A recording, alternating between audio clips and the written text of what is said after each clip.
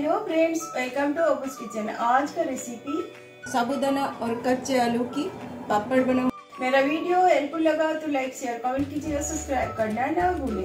साबुदाना और कच्चे आलू की पापड़ बनाऊँगी। तो इसके लिए पहले छिलका निकाल के पानी में डिप करके रखा। और जो साबुदाना पहले भिगो के रखा था, ये पानी के साथ बॉईल करने के लिए रख देती हूँ।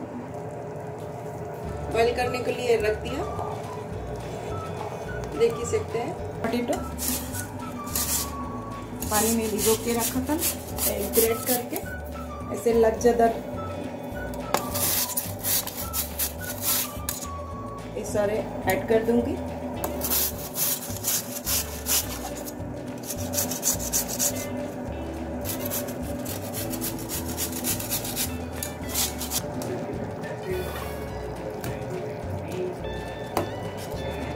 देख ही सकते हैं, अच्छी तरह से।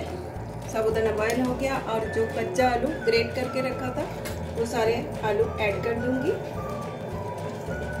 और अच्छी तरह से साबुदाना के साथ बॉयल कर लूँगी।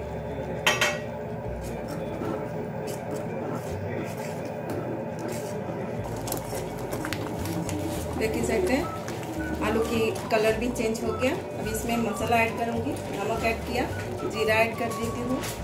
और थोड़ा सा रेड चिली पाउडर आप लोग ग्रीन चिली भी ऐड कर सकते हैं। तो अच्छी तरह से मिक्स करके और दो मिनट पका लूँगी और ठंडा होने के लिए रख दूँगी। बाद में पकड़ बनाऊँगी।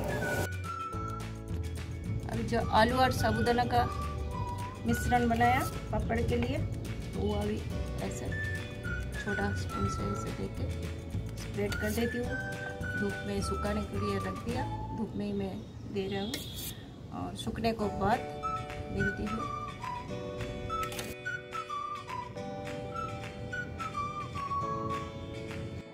साबुदाना और आलू की जो पपड़ बनाया मसालादार तो सूख के रेडी हो गया।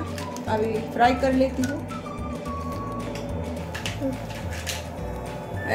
गरम हो गया।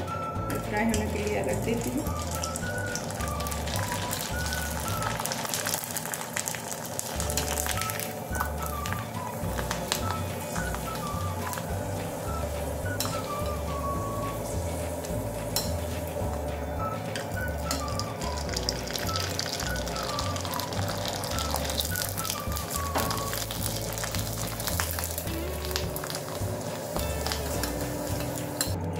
फ्राई करके रेडी कर लिया। देखिए, सूखने के बाद इतना सा था और फ्राई करने के बाद इतना बड़ा हो जाता है साइज़ में। तो बहुत ही क्रिस्पी एंड टेस्टी बनता है।